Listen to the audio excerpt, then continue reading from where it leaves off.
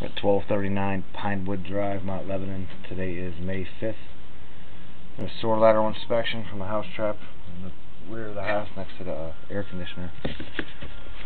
Got the camera out to the main sewer. I'm going to pull back